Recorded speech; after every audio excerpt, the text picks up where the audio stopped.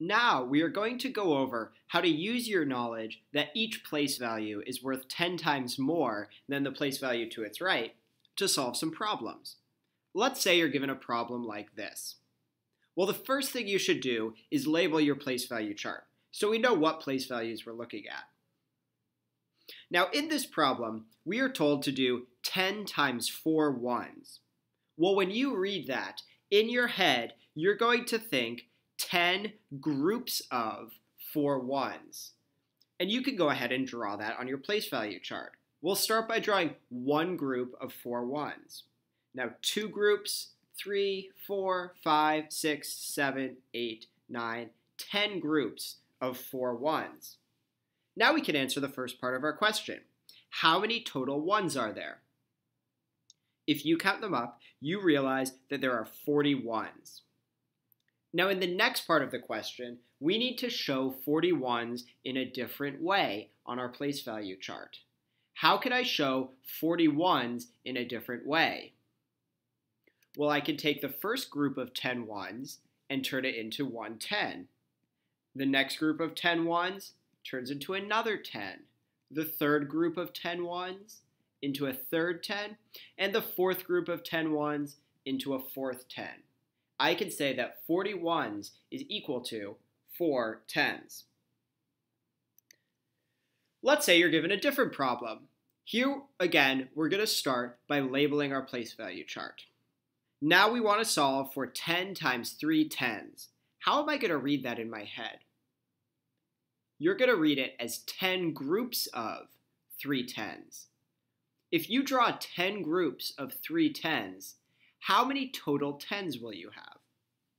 Well, you can imagine one group of three, two groups, three groups, four, five, six, seven, eight, nine, ten groups. And if you count up all of those tens, you realize that you have 30. Now, what can I do to rewrite or redraw my 30 tens? Well, I can take the first group of 10 tens and make 100. The next group of 10 tens makes another 100. And the third group of 10 tens makes a final 100. So I can say that 30 tens is equal to 3 hundreds. Now, these next problems will ask us to use our knowledge without necessarily seeing a place value chart. You can visualize it, but it's not necessary to draw one out. Say you're given the problem, blank is the same as 10 tens. Well, inside of your head, you can imagine a place value chart with 10 tens. And you can start to realize, oh yeah, what could happen with 10 tens?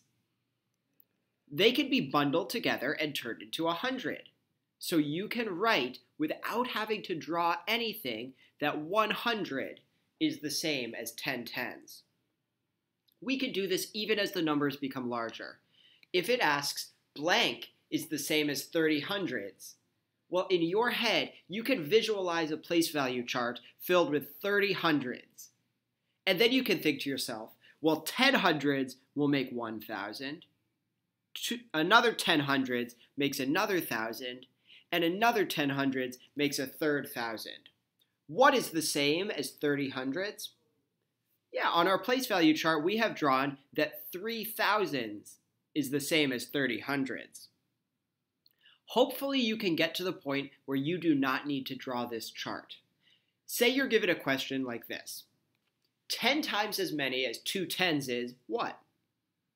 Well, what you might think to yourself is 10 times as many that means I'm going to move over one place value from the tens.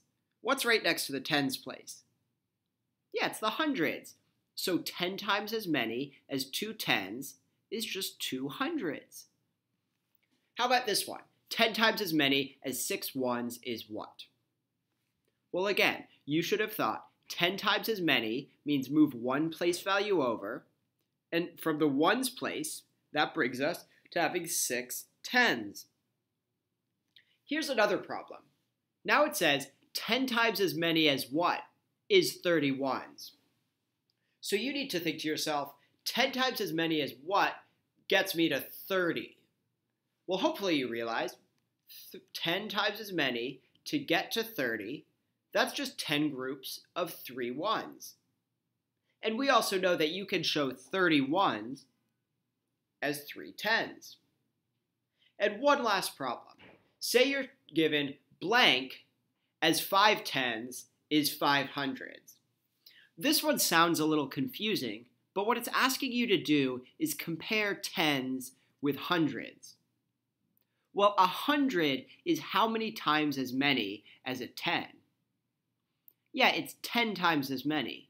So what you can write is 10 times as many as 5 tens is 5 hundreds. That's just saying 10 times more than 5 tens is 5 hundreds. And so we can get to the point that even if we're not drawing a place value chart each time, we can compare different place values. That gives you all that you need to answer questions about how to compare numbers when they're in different place values.